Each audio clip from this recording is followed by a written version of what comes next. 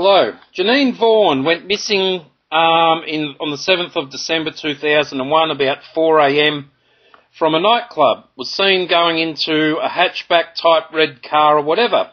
Back then, I owned a hatchback red type car and sold one previously, you know, probably a couple of weeks up to a month beforehand. I contacted Crime Stoppers at Crime Stoppers at the time because the um, that was the only lead. But see, why I remember this is because when I sold it to the bloke, I think it was for six hundred dollars, he never paid me the money.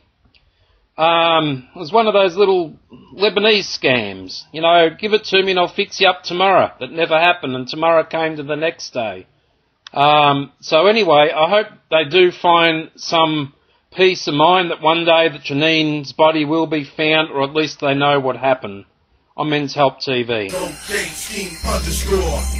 Paid rappers down with Paul Australia.